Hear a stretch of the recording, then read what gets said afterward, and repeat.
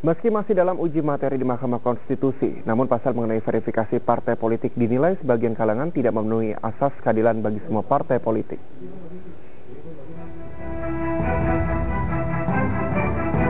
Tahapan verifikasi partai politik yang tercantum dalam pasal 173 ayat 3 Undang-Undang Nomor 7 Tahun 2017 tentang pemilihan umum masih menjadi perdebatan di tengah masyarakat.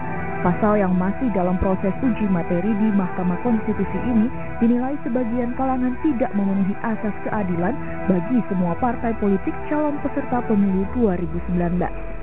Sepemahaman kami, ada eh, tahapan-tahapan di dalam undang-undang pemilu itu yang menjadi kontradiksi satu sama lain.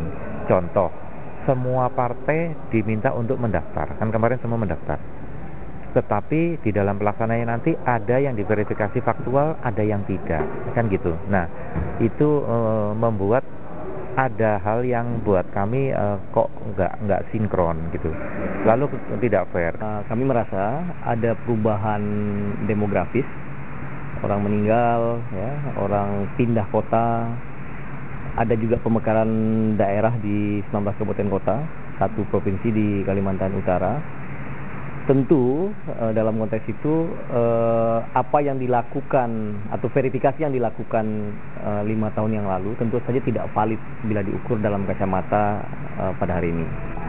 Efisiensi anggaran adalah salah satu alasan verifikasi faktual hanya dilakukan untuk partai politik peserta pemilu 2014.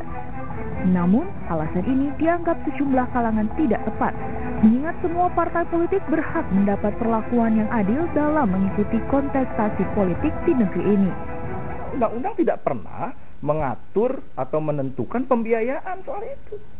Jadi kalau mau diverifikasi biayanya itu dianggap besar dan diinginkan adalah efisiensi, ya nggak usah aja semuanya diverifikasi, lebih nggak ada biayanya.